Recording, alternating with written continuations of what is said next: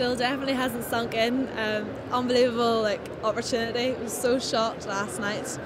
Uh, I say once it sinks in, I'll be completely ecstatic. It's called Green Rust, the Good Gal. Uh, basically, I synthesised one of the 32 iron oxyhydroxides, um, and I made a control system to make sure I made a pure uh, substance. Um, I use this to remove toxic heavy metals from our drinking water, and I also found out its formation pathway.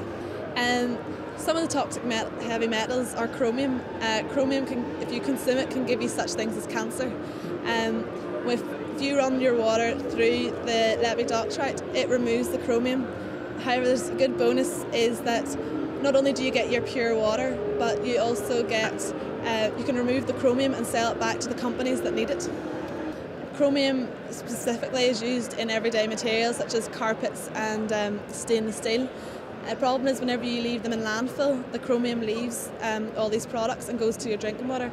So land, people who are maybe in landfill or else in disused mines will be very interested in using them. I, I think the steelworks would also be very interested in them as chromium is such a vital part of their day-to-day work.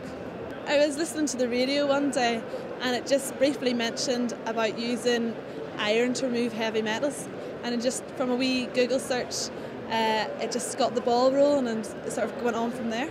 I did three sciences and maths to A2 and I did Irish to AS. Um, though I did this on just on my own time with my teacher.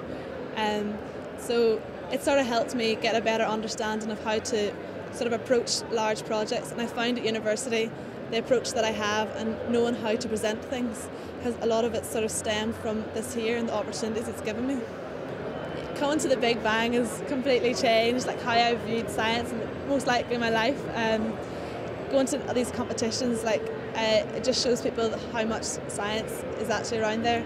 And I would say to anyone, if you get the opportunity to come to the Big Bang or any other competition, to come to it and take the chance.